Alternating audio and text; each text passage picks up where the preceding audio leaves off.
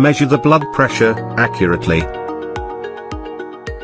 Blood pressure readings are of, two values. Systolic blood pressure, is the pressure when the heart beats, while the heart muscle is contracting, and pumping oxygen-rich blood into the blood vessels.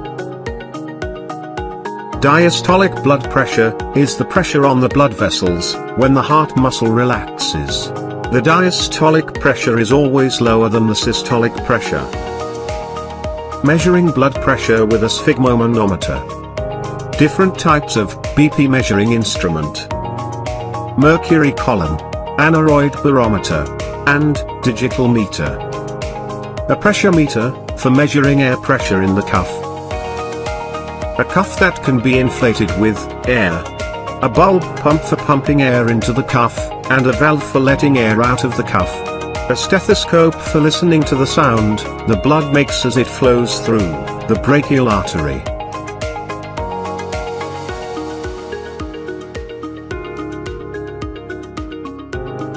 Seven secrets for more accurate blood pressure readings. Empty bladder first. Support back and feet. Keep legs uncrossed. Don't have a conversation.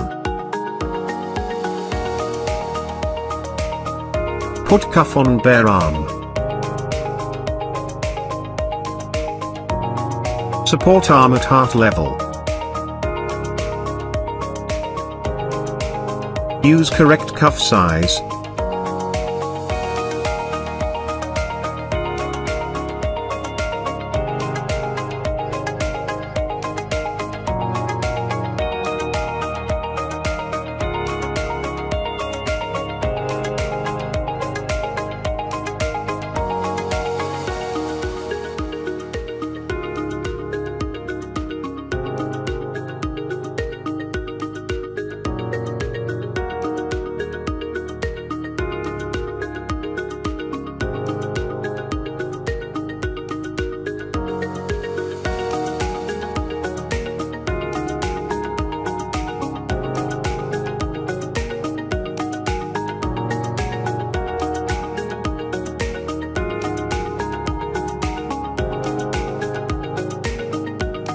Blood pressure ranges as recommended by the American Heart Association.